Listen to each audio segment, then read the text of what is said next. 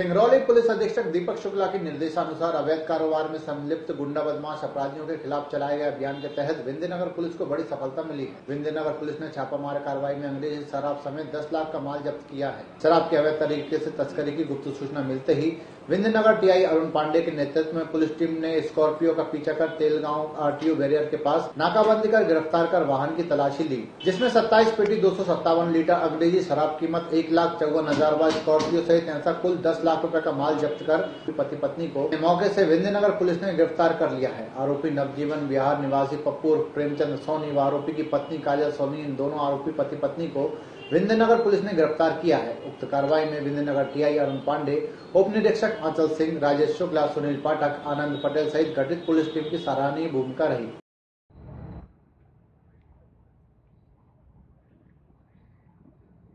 गाड़ी का नंबर नहीं दिख रहा।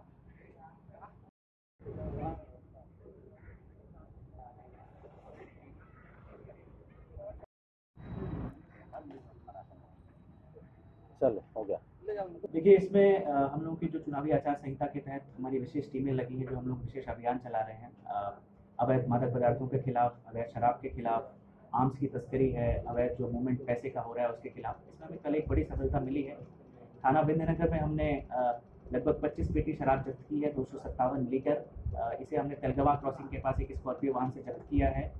इसमें दो आरोपी गिरफ़्तार किए गए हैं। इन आरोपियों का पुराना रिकॉर्ड भी है शराब तस्करी को लेकर के ही, और इन्हें फिर से गिरफ़्तार करके आज न्यायालय के समक्ष पेश किया गया है। एक बड़ी कार्रवाई है, बड़ी सफलता है। ढाई सौ लीटर शराब जो थाना विंध्यनगर ने जब्त की है। इसी तरह कल एक और बड़ी कामयाबी मिली है थाना बरगवा को। उन्होंने लगभग पैंसठ लीटर शराब एक मामले में जब्त की है, और चौंतीस दो का अपराध पंजीबद्ध किया गया है।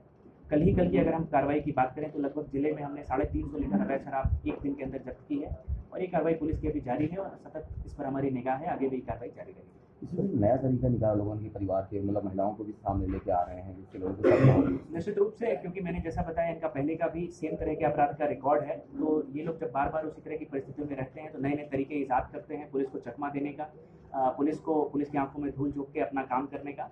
तो इनका ये एक तरीका है कि परिवार की तरह बन के और पति पति पत्नी की तरह एक वाहन में निकलना ताकि पुलिस को शक ना हो और पुलिस उनको रोके ना, उनको इंटरसेप्ट ना करे। क्योंकि नॉर्मली हम लोग भी इस बात को ध्यान में रखते हैं कि हमारी चेकिंग की वजह से या हमारे जो पॉइंट्स लगे हैं उसकी वजह से आम जनता को कोई तकलीफ़ ना हो। इसलिए हम लोग लगातार निर्देश जारी करते हैं। उसका फ़ायदा कुछ लोग उठाते हैं, लेकिन मैं काफ़ी तारीफ़ करना चाहूँगा हमारी विंध्यनगर पुलिस की, जिन्होंने इस वाहन को इंटरसेप्ट किया और एक बड़ी सफलता हासिल की।